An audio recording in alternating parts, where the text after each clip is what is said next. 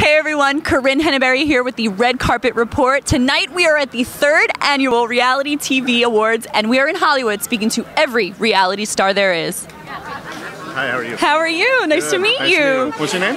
Corinne, pleasure. Okay, nice to meet you. Emil. You know, there's always interesting ways in pronouncing your name. There is, yeah. I grew up with an email.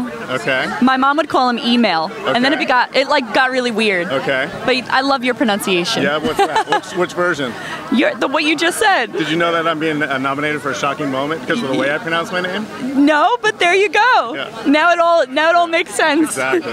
You have beautiful eyes, by the way. Thank you so much. Appreciate that. Tell me what it was like your experience on The Bachelor. Oh, It was great. I mean, uh, it's like a once in a lifetime experience. I mean, stepping out of the limo on national television. I mean, it's a, a nerve wracking moment for sure, but uh, I just tried to have as much fun with it as I could, and, and that's why I'm nominated, I think. Yeah. Do you find that on a normal basis it's very hard to date In LA?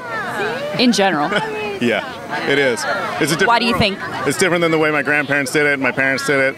It's just a, a social media driven, uh, kind of a ADD world out there, you know? So with The Bachelor and the shows that are on air, and even the obviously the idea of social media playing a big factor in dating, do you think there's any opportunity for relationships that are long lasting? I think so. Yeah. Yeah, it's got to be the right one, though, you know? And I'm in no hurry to rush it, but, you know, anything can happen, and, uh, you know, I'll take my chances. What do you think is the most important part of a relationship for surviving? Oh, I think uh, probably respect. I think if you don't respect, you can't love.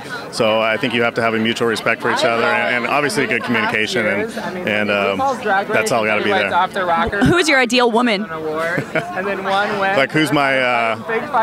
The top character characteristic of your ideal woman. That's what we love. oh, big, big heart, Reactions with the big heart, yeah. tonight were so Cool, I like that. And last question. It's gonna be a really great night. People are gonna go If you can a nice award. take your beautiful lady anywhere on the globe, where would it be? Italy. Like it, Amalfi Coast. Okay. High five. we might get together, you never know. Okay. Have a good one.